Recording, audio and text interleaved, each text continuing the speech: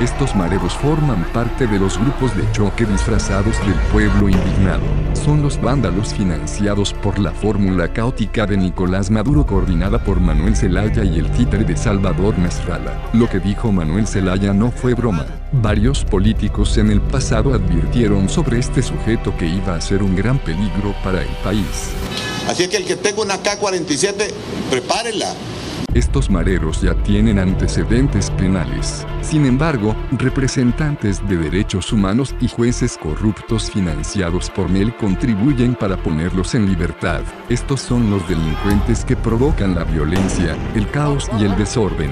Leonardo Enrique Cruz, coordinador de la Juventud del Partido Libre, experto en elaborar bombas Molotov. Daniel Rivas, miembro del movimiento independiente de la UNA Avanzada, Alan Moisés Alcerro Martínez, miembro del MEU y expulsado de la UNA, Elmer Josué Corea Vázquez, coordinador de Juventud Partido Libre, el menor de edad, Eddie Alejandro Anariba Carvajal, el peligroso integrante de la Barra Rebo, Miguel Ángel Girón, Edwin Robelo Espinal, coordinador de actos vandálicos y proveedor de explosivos.